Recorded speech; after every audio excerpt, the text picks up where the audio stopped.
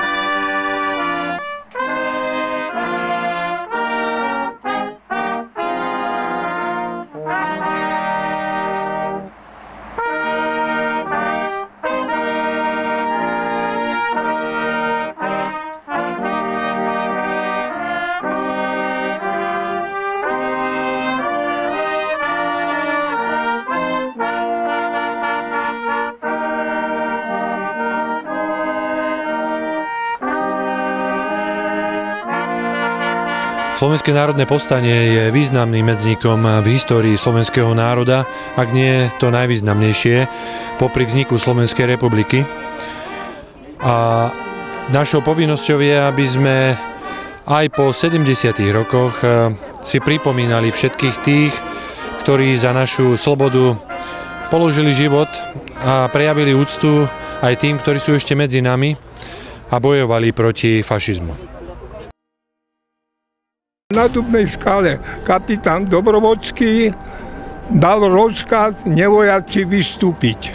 Ako nevojaci sme vystúpili, nás bolo okolo 30, možno viac, naložili nás do auta a išli sme do Sklabiny. Sklabina nás zaregistrovali, boli to ruskí teda vojaci, partizáni, náš veliteľ bol ruský poručík, ja som sa dostal k rote minerov, ktorá patrila pod Štefanikovú rotu.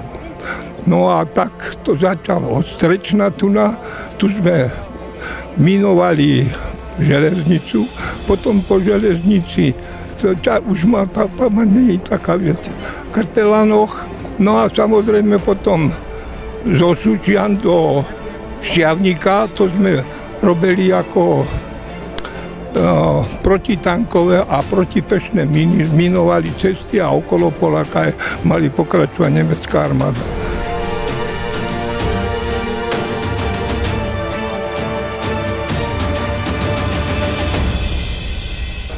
Sme boli po určitej dobe presunutí do Gaderskej doliny.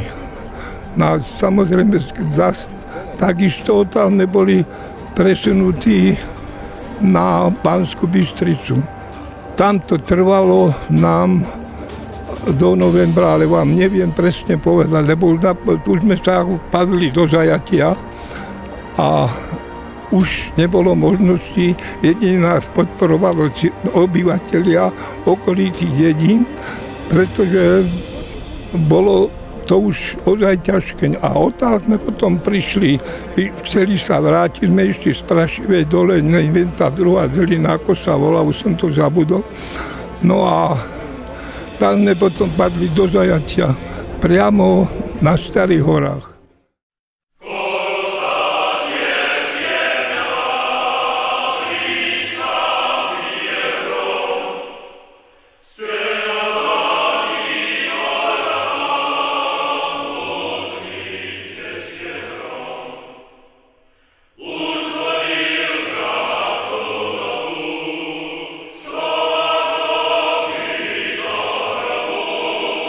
Ja som sa dnes aj zamyslel pri svojej reči, že či toto všetko neberieme až tak samozrejme.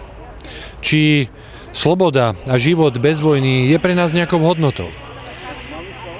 Pretože zamestnávajú nás každodenné problémy, čo je úplne prírodzené, ale nesmieme zabúdať aj na to, že ešte stále sú aj medzi nami ľudia, ktorí podporujú neznášanlivosť, alebo dokonca aj popierajú Slovenské národné povstanie A to už je niečo, kde musíme veľmi zbystriť. A niečo také sa stalo aj u nás na Slovensku, keď v jednom z našich krajov si občania zvolili za predsedu človeka, ktorý popiera Slovenské národné povstanie.